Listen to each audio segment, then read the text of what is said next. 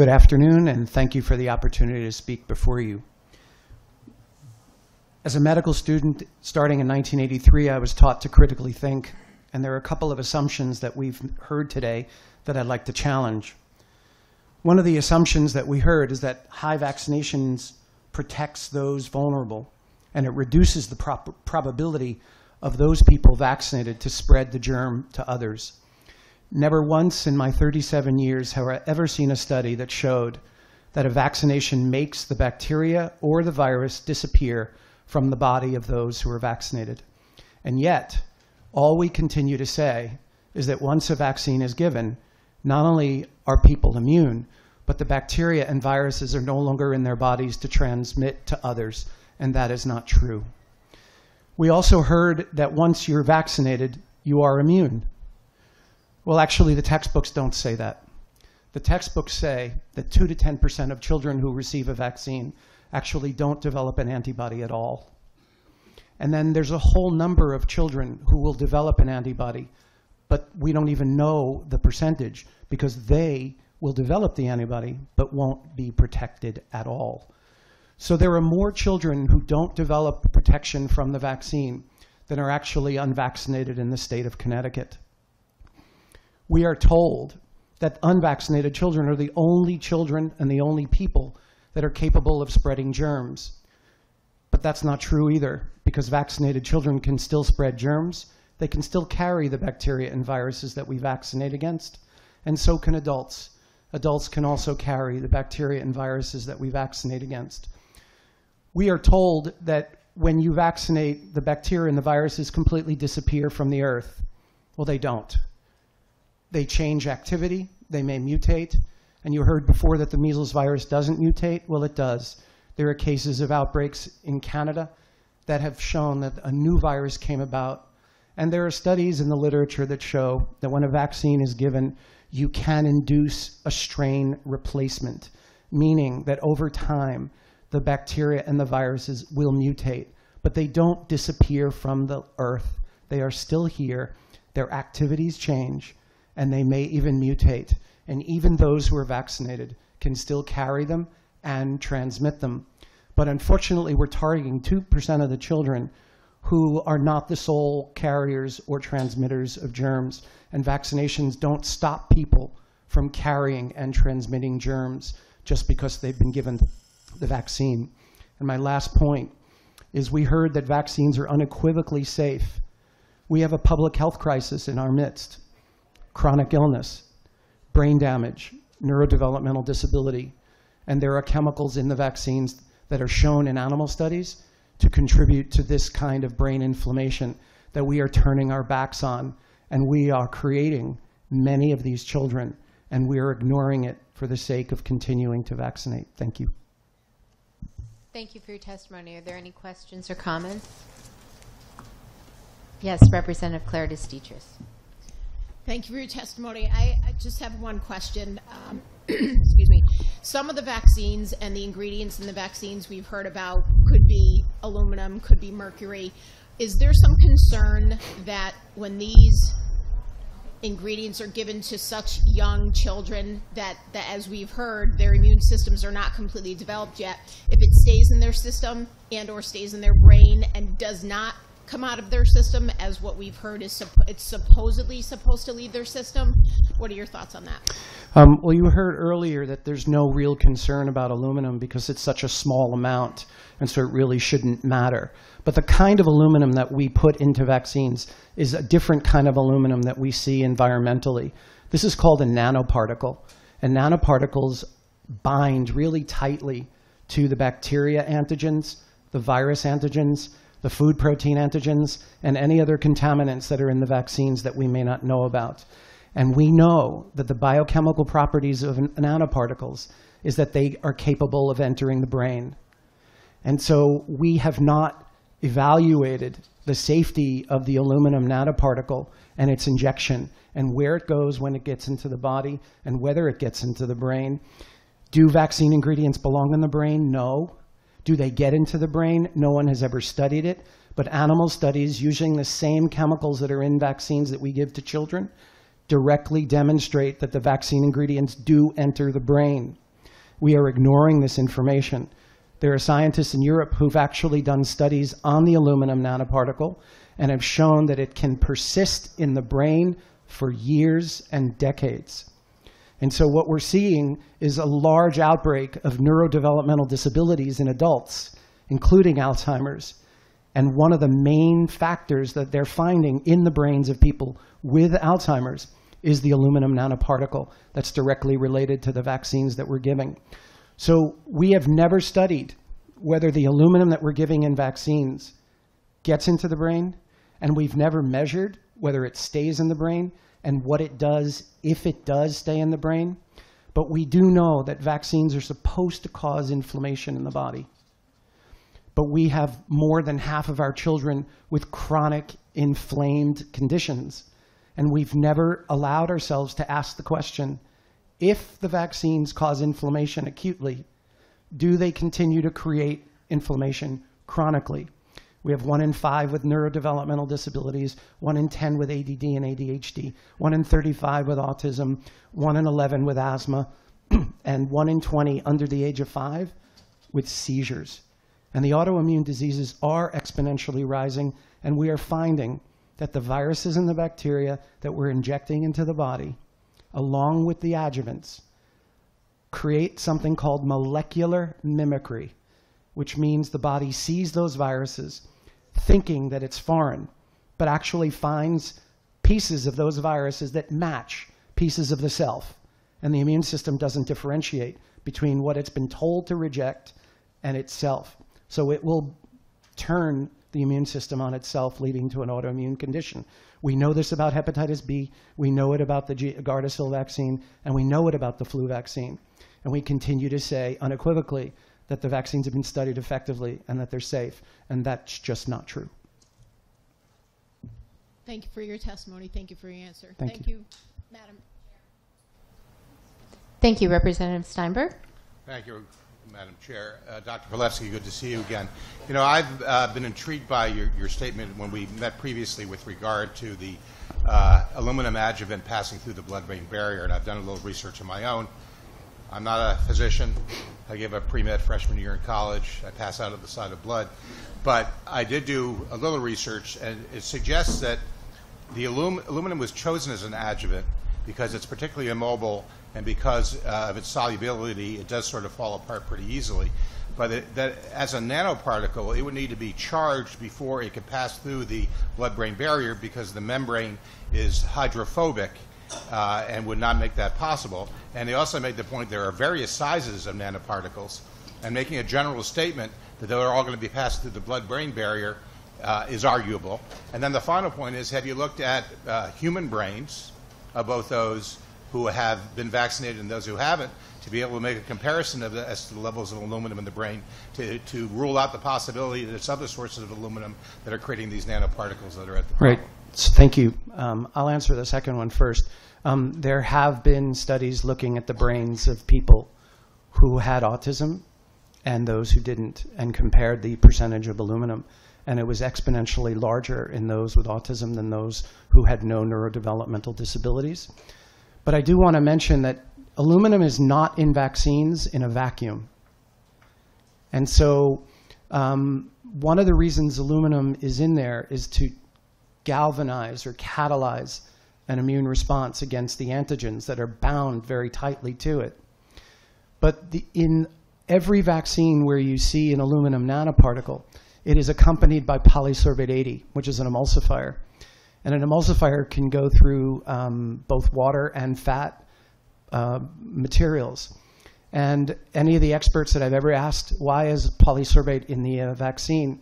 They have said, quote, to help disperse the vaccine material away from the vaccine in injection site. So polysorbate 80 is known as an emulsifier. It's also used by drug companies to bind to drugs to assist drug delivery into the brain. So polysorbate 80 can pass through the brain, and when it, it very tight, it binds very tightly to aluminum. And um, in animal studies, when using drugs bound to nanoparticles, bound to polysorbate 80, you massively increase drug penetration into the brain than if you didn't have the polysorbate 80 alone. So polysorbate 80 is a disperser. It does move things away from the injection site, and it increases the potential for entry of whatever is attached to the polysorbate 80 into the brain. There's another chemical in the vaccines called 2-phenoxyethanol, which actually disrupts the health of the cell membranes of the body. It's well known to be a detergent in that respect, and yet we don't study it to see what it does when it's injected into the body and whether it actually changes the cell membrane that would allow almost anything from the vaccine or even from the bloodstream to enter into cells or enter into the brain. And we know that aluminum as a nanoparticle can destroy mitochondria. And mitochondrial disease is one of the basic pathophysiological findings in people with chronic inflammatory conditions. We also know that the aluminum nanoparticle can destroy the waste product removers of the cells. Those are called the lysosomes. Those aluminum nanoparticles that can destroy the lysosomes change the way the cells remove in, uh, wastes and inflammation. Therefore, you are increasing the potential for chronic inflammatory conditions. Polysorbate 80 can go right through the cell membrane. 2-phenoxyethanol can destroy the cell membrane and allow material to go in, and anything bound to the aluminum can still go into areas where it shouldn't go in.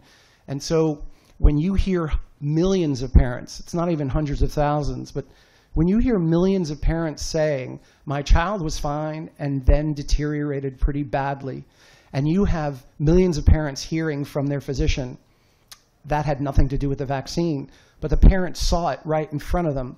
It's our job to say, is there something in the vaccines that actually can penetrate the brain, that can disrupt the mitochondria, that can destroy the lysosomes, that's doing this? Because it, it can, and it most likely is, and we're refusing to look at it. Um, and these families are I real. could get back to the original question? Uh, Sorry for interrupting. Sure, no. Uh, You you mentioned the surfactant, which seemed to be a very important part of the ability to pass the blood-brain barrier.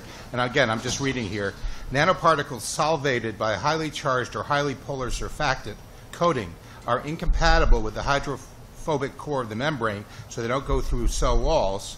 And if you turn the surfactant toward being more hydrophobic, you also decrease the lifetime of the nanoparticle because they no longer remain as readily soluble and will begin to aggregate as buckyballs and the like. So the point being is, the argument i that the, a surfactant brings the adjuvant through with it, from, the, from what I've read, seems to be arguable. Sure, but um, if you look at the pharmaceutical literature, the pharmaceutical literature says that number one, they have trouble penetrating the brain by delivering drugs because of the presence of the blood brain barrier. Number two, if they attach a nanoparticle to the drug, they can increase penetration of the drug into the brain. Number three, if they put an emulsifier like polysorbate 80 bound to the nanoparticle, they can increase penetration of the drug in the animal studies 20 fold. So I don't know what reference you have. I'd have to look at it. But there is scientific evidence to show that when a, an emulsifier like polysorbate 80 is bound to a nanoparticle and that bound to a drug, it can enhance delivery into the brain across the blood-brain barrier, and vaccines are constructed in the same manner. Polysorbate 80, aluminum nanoparticle, bound to antigens that are in the vaccines. I agree with you that the whole purpose of the surfactant is to ease the passage. But what I've read, at least, and I'm glad to share it with you, suggests, well, first of all, it's not their intent for the adjuvant to be the one passing through the blood-brain barrier, and that aluminum is particularly poorly suited and perhaps selected as an adjuvant because of the greater difficulty of it passing through the blood-brain barrier as a nanoparticle, even with the presence of the surfactant, which I imagine is there to bring other elements of the drug through the blood-brain barrier. Sure, but there have been a numer- numerous studies done by people outside the mainstream uh, medical community who have attempted to look at what happens to the nanoparticle when it's injected into the body. And they have found that not only does it penetrate the brain, it persists for years. And so, again, if we're seeing a public health emergency of chronically disabled and chronically ill children. And we know that there are ingredients in vaccines that can potentially contribute to that happening. And we don't have any scientific studies examining whether or not any of these ingredients contribute to the development of these chronic inflammatory conditions, we have a problem. I agree with your central argument. If you were really talking about proven causality, what you've described over and over again seems to be a correlation. However, you fail to take into account the tens of thousands of chemicals we've introduced into our food and into our environment. Have we evaluated all those? And should we be stopping all those 10,000 chemicals because they may be the cause of the presence of these various uh, elements in the brain? No, I, I appreciate that. But there's a difference between what you inhale and what you ingest and what you inject. And what you inhale and what you ingest has the capacity for the immune system along the airway and the immune system along the 26 feet of intestines in children, plus the liver, to actually eliminate that before it gets into the body.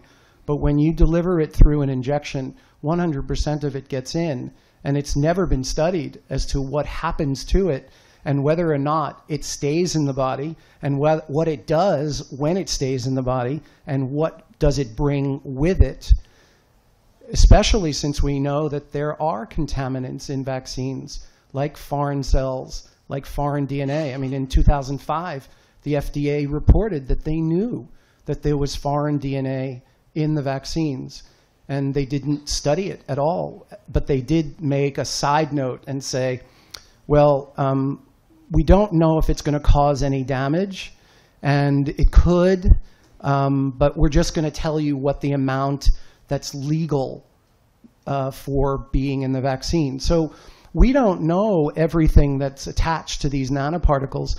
We assume that when you inject the vaccine, it's not going to hurt you. We also assume that it's going to give you immunity, and neither of those is true. I'm still focused on, on, the, on the fact that we do know that many chemicals in our environment are carcinogenic, are endocrine disruptors, that have any number of other uh, uh, create mutations and the like, and those are not injected. So many of those things are present that end up in our bloodstream because they've been ingested or through other means. I'm just not quite sure I can buy your argument this is all because of vaccines because you've noticed some of, some of these incidents when there are all these other factors in our environment that coincidentally have been introduced along the same time frame as vaccines that could equally, if not more likely, be involved given their pure uh, number Sure. of them involved. I appreciate that question. Um, the, the fact of the matter is that vaccine ingredients have never been tested for mutagenicity or carcinogenicity. And there are actually statements in the package inserts that say that this product has never been tested to see whether it causes mutations in the DNA or whether it causes cancer. So you're right. I think we should be equally concerned about the injection of these materials. But I'll say that in over 21 years of actually watching the health of vaccinated children in the same community as the health of unvaccinated children, I don't see nearly as many chronic inflammatory conditions in those who are unvaccinated as I do in those who are vaccinated. And a colleague of mine is currently engaged in a wonderful study looking at the health outcomes of fully vaccinated children, partially vaccinated children, and unvaccinated children. And in his preliminary data, he's already seeing quite a stark, statistically significant difference that the unvaccinated children are unanimously healthier with fewer chronic illnesses. The next fewer illnesses are seen in the partially vaccinated children, and the most severe chronically inflamed conditions are seen in the fully vaccinated children. So I think we do have observational uh, data just by watching to see, well, how many of the kids in the community who don't get vaccinated actually have cancer? How many do get cancer living in the same community who are vaccinated? Those vax versus unvax studies have never been done by the mainstream media. Uh, by, I'm sorry, by the mainstream uh, medical community or scientific community. So I agree with you. I think I think environmental chemicals are definitely a concern, but we're seeing stark differences just based on vaccinated versus partially vaccinated versus unvaccinated in the same communities. And we're seeing it in the same families where you have parents who vaccinated their eldest child, saw very significant damage done to that child, and then had two or three more children and did not vaccinate them or partially vaccinated them, they have their own study because they see that the youngest who have not been vaccinated are far and away the healthiest, living in the same home, living in the same environment, the same exposure to toxins, the same exposure to parenting, same foods, same medical care, and different health outcomes. And my experience is that the medical community refuses to acknowledge that there are faults with the vaccination system that are much greater. Vaccine injury is much more widespread than we're giving it credit for. And when you have 2 to 10% of your children in the, in the community who might not even develop an antibody, you already have a tremendous number of children who are not even immune. So we're, we're saying that all these children are immune, but vaccination doesn't guarantee immunity, especially for those who don't develop an antibody, and then for those who do and don't even get protection even if they do. It, it strikes me that we're sitting in a, in, a, in a scientific community and we're saying that if you vaccinate a child, the virus or the bacteria just disappear from their body and they can't transmit it anymore. That has never been proven, but it is generally believed to be true. And we propagate that without really looking at the science. So we're making a lot of assumptions that the only people carrying the germs that we have to worry about are the unvaccinated because somehow the adults don't carry it and somehow the vaccinated couldn't possibly carry it because they've been vaccinated even though more than 10% of them might not even be immune from it. So there are a lot of assumptions here that, that I think we're, we're just agreeing to that really is not scientific at all. I would certainly agree with you. There are a lot of assumptions in this, this conversation. Uh, Representative Michelle. Thank you, Mr. Chair. Uh, th- thank you, uh, Dr. Palevsky, for uh, coming to testify. Uh, I have some questions uh, to ask. Uh, two questions. One, why do doctors um, recommend that all pregnant women receive a flu and DTaP vaccines if vaccine products have never been tested for safety during pregnancy, and when there are no studies to prove that even it even prevents these infections in infants? And does the recent study about flu vaccines um, and increased miscarriage rates concern you? Um, I'll answer the second one first. Um, there's definitely divergent views about whether the flu vaccine contributes to miscarriages. You have the medical community that says no, and then you have increasing numbers of mothers, pregnant women, who are saying, yeah, I, I was fine, I got the flu shot, and I miscarried. And then you hear the authorities say to them unequivocally, no, it had nothing to do with the flu vaccine. So we're losing experiential and observational data because our belief systems refuse to acknowledge that there may be an uptick in the number of women who are undergoing miscarriages. Um, but the, the thing about giving flu vaccine and Tdap to pregnant women um, basically supports the idea of cocooning, meaning that if you vaccinate the mother or the pregnant woman, she will be immune so that when her baby is born, the baby will be protected from getting pertussis, basically. Uh, diphtheria is, is really non-existent, even though it's around. It's just not causing infections. And vaccines don't make the germ just disintegrate into thin air. Um, but it's also to theoretically prevent her from developing uh, the flu. But nine years ago in the vaccine journal, there was a study actually looking at flu vaccine in pregnant women. And it showed that women who were given the flu vaccine had increasing inflammatory markers. And nobody knows what they mean. But yet, you have literature that demonstrates that babies that are um, exposed to increasing inflammation in utero have increasing incidence of schizophrenia and mental health disorders by teenage years. So again, we're, we're not looking at the long-term effects of injecting material that does cause inflammation. And then again, if it does cause inflammation, how chronic is that inflammation? Does it persist? And then when you re-vaccinate and get further exposed to other factors in your environment that stress you, are you creating a downhill effect of further further disease? And last, why vaccine products only safety uh, tested for days or months rather than uh, four or five years, as with pharmaceutical drug products? And why don't vaccines use the gold standard into inert placebo-controlled double-blind studies to prove safety as is used for all other pharmaceutical products? So I do want to say that you heard before that vaccines are double-blind, randomized, placebo-controlled study, um, but they're not. And I would love to have the opportunity to work through the scientific literature to show that not one ingredient in vaccines has ever been injected into a, a, a group of kids with a control group that's given a placebo. That's never happened. Um, but vaccines are not considered um, uh, under the same standards of medicines. They're considered biologics. And the vaccine industry has adopted and given permission to not study vaccines the same way medicines are studied. Um, they also have said publicly that it's unethical to keep children unvaccinated during a study. So that's why they say we don't see studies looking at four weeks, eight weeks, 12 weeks, six months later.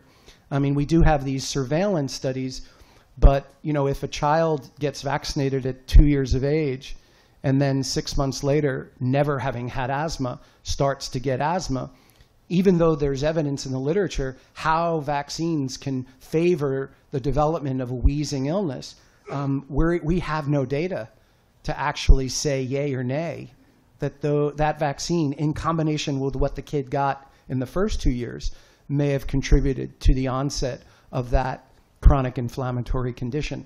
So we are we are demanding that that the proper safety studies be done, and we are told that they won't be because we can't leave children unvaccinated for any length of time. And then when we say, "But we have all these kids who are unvaccinated who can be in the study," in the study, they say, "Well, um, they don't have the same demographics, they don't have the same diets, they don't have the same home environments, so we really can't compare one to the other."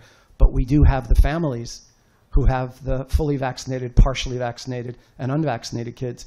And we don't have the full study yet, but we have tremendous observational data that show that these kids who are unvaccinated are much healthier. Thank you. Are there any other questions or comments?